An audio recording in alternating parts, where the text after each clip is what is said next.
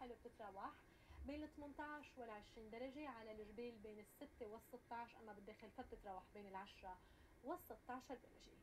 الجو مثل ما ذكرنا مشمس بالنهار بيتحول بالليل إلى غائم كيف الطقس بكرة؟ ببعض المناطق وديعة اللبنانية بنشوف بهالجولة من الجو وبننطلق من عيدا 15 بالفرزر والختام رح بيكون بالقاع مع 10 درجات نهار الاحد ولكن طقسنا بيتحول إلى غائم بيرجع مشمس نهار الاثنين ونهار الثلاثاء وبتستقر درجة الحرارة على 22 من بعد جولتنا على طقس لبنان بنختم نشرتنا بجولة سريعة على طقس بعض المدن حول العالم وأنا بلاقيكم بكرة.